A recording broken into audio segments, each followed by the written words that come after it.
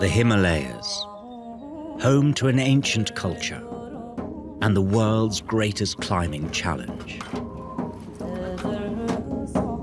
In this mountain range stands a goddess known as Chomolungma, Great Mother of the Universe. For thousands of years, Buddhists have worshipped the goddess in local communities whose way of life remains largely unchanged.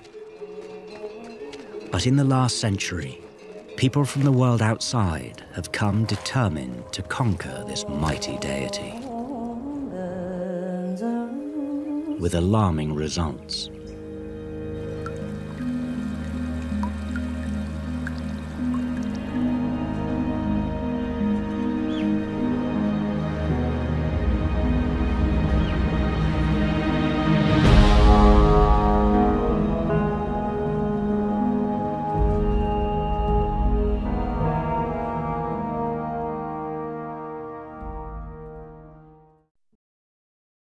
Available now on iTunes.